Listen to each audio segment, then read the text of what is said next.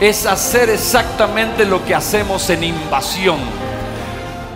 Nos levantamos y dice, ninguno puede entrar a la casa del hombre fuerte y sacar sus bienes si primero no le ata. Pero la palabra dice, les doy autoridad para atar y desatar. Y entonces entro a la casa del hombre fuerte, saqueo el botín y traigo atmósfera del cielo y digo, ahora justicia, paz y gozo se establece en mi ciudad, se establece en mi barrio, se establece en mi casa, se establece en mi familia.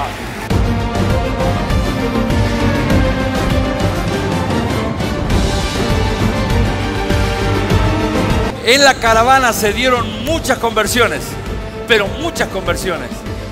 Gente que escucha y que dice, puedo ir con ustedes, sí, agarra una banderita y se mete entre medio y ya le van predicando y ya llora, y ya hace la oración de entrega mientras va caminando.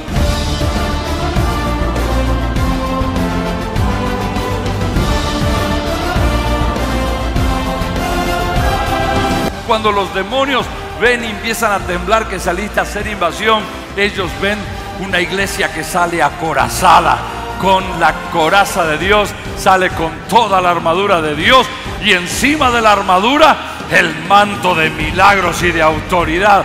Así que la iglesia sale pisando fuerte, sale equipada, sale poderosa para mostrar la gloria de Dios.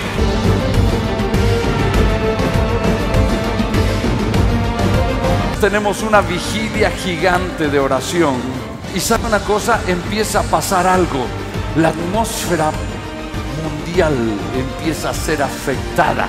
Porque la oración de un justo puede mucho. Ahora cuando son cientos de miles y cientos de miles al mismo tiempo orando, están generando un alboroto a nivel espiritual que es imparable.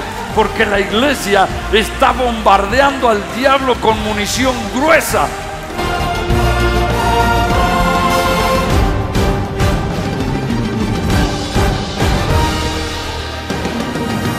avivamiento. Mira, la iglesia del Señor cosechando así.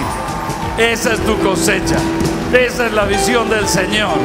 Ese es el trabajo que Dios preparó para la iglesia. Brazos grandes y una cosecha enorme.